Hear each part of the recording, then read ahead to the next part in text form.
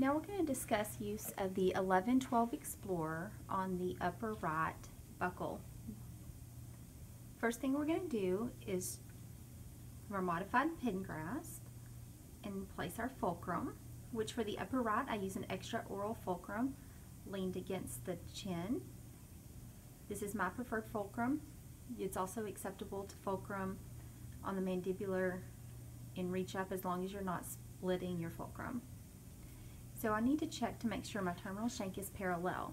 So I can do that a couple ways. I can establish my fulcrum, place my tip towards the tooth, and look at my terminal shank to see if it's parallel.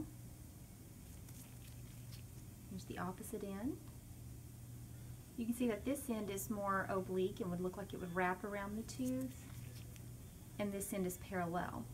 Another quick reference point for checking the um, correct working end would be to look at the lower right because it's easy to see. So if it's incorrect on the lower right, then it's going to be correct on the upper right. Okay, so with my mirror retracting my cheek, I'm going to establish my fulcrum and start distal of the most posterior erupted tooth. So I'm going to start at distal line angle, very light strokes roll around into the col area. Remove the Explorer from the sulcus. Re-enter the sulcus at the distal line angle. Oblique strokes leading with my tip across the facial. Rocking on my fulcrum and roll around the mesial line angle, kicking that heel out into the col. Same thing here on number three.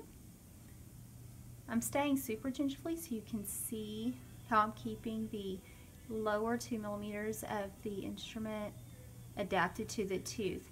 If I don't roll fast enough around this line angle, that tip is going to lacerate the tissue. So it's really important that you maintain proper angulation. Premolar and roll. Premolar and roll. Now I'm getting into the anterior sextant.